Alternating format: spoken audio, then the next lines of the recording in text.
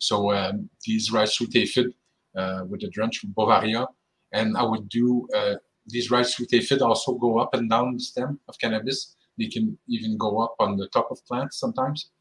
And I would get we would get them with tangle foot tape that we place around the, the stems.